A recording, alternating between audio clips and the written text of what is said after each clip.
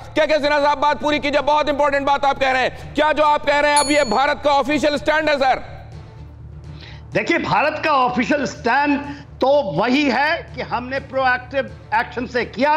China करना चाहता है। चाइना करना चाहता है कि वो जो एलएसई मानता है, वो कर रहा है।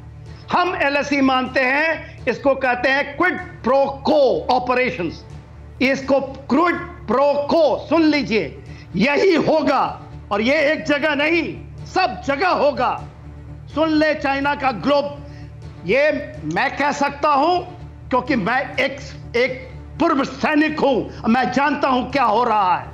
ये तो हमारी ये अब काबिलियत है। प्रो को होगा अब ये बात कह रहे हैं के के सिन्हा साहब और ज़ाहिर है जब ये कह रहे हैं तो बहुत ज़िम्मेदारी के साथ वो इसलिए कह रहे हैं क्योंकि वो आर्मी वेटरन है। संजय सोई साहब मैं आपके पास आ रहा हूँ। कल से आज तक वहाँ पर बॉर्डर में रहते हुए आपने ज़ाहिर है आपका अपना तजुर्बा वहाँ होने वाले लोगों की बातें। इस बार हिंदुस्तान का तेवर क्या महसूस हो रहा है आपको?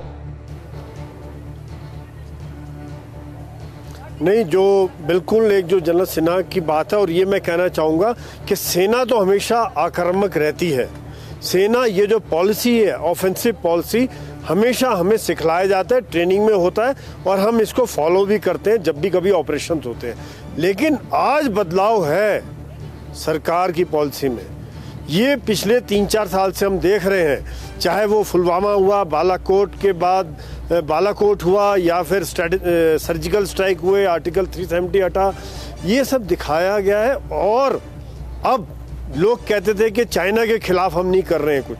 यहाँ दिखा दिया दम, यहाँ दिखा दिया दम कि कर सकते हैं दिखा सकते हैं और चाइना के खिलाफ ब्लैक टॉप जहाँ पर वो सपना देख रहा था यहाँ पर मैं कब्जा कर कर को पूरा डोमिनेट करूँगा। दम दिखा दिया वो मुद्दे जो दशकों से लटके हुए थे उन पर निर्णय ले लिया गया। काटजू साहब। देखिए 1988 से जो नीति चल रही थी उसका अनुसरण मोदी जी ने भी किया। पूर्ण कोशिश करी कि चीन के साथ सीमा विवाद सीमा पर एलएसी पर शांति बनी रहे। वो वुहान गए मामलापुरम में शी जिनपिंग आए इनफॉर्मल समिट हुए। लेकिन जब चीन ने जो एक एक किस्म से एक भरोसा तोड़ा जब उन्होंने अप्रैल में एलएसी पर जो गतिविधि की तो उन्होंने हमारी सरकार के लिए और कोई चारा ही नहीं कोई विकल्प नहीं छोड़ा।